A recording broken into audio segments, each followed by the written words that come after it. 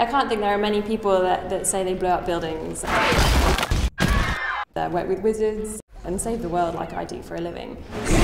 But then again, that's, that's what we do. It's about creating a totally different world.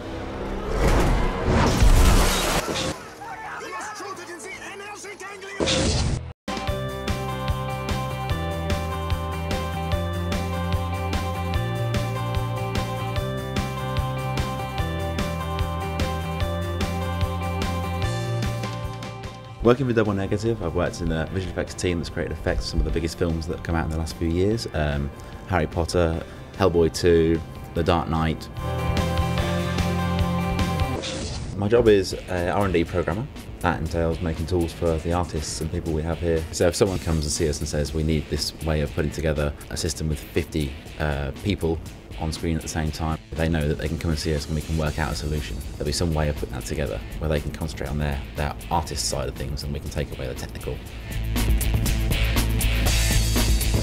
I'm in charge of things that move but under the forces of physics. So things like hair, water, smoke, fire, um, not characters or creatures.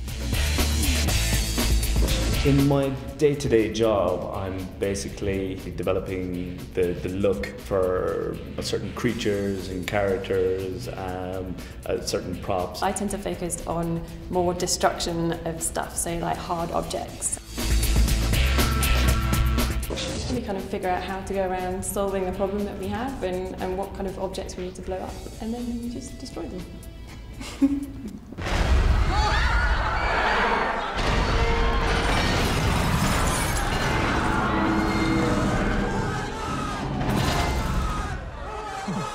At A level, I did Maths, Maths, Maths, further maths. further maths, computer science, chemistry. physics. physics.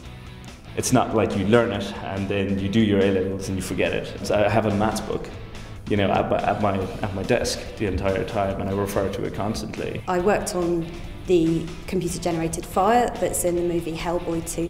and um, I honestly wasn't sure what's happening inside a flame, what the chemical reactions are that are making that happen. So I went and found my old folders from university and looked through the part about fire and went, oh, I see. If I want to know how to get a good looking distribution of trees over an area, then you know I'll have a look and find some sort of nice equation that, that I can tie into that. In the sort of years I've been here now, it's been it's been brilliant fun. I get to travel all over the world. When you first go and see a film that you've worked on and you see it in the big screen, particularly if you're there with a very enthusiastic audience, it really makes you feel, yay, it's work. I get to work in fantastic movies. I get to see my name on, on credits at the end of every movie that I work on. Evidently, this guy's quite the big shot. Oh, and of course, going on set and meeting the cast isn't bad either.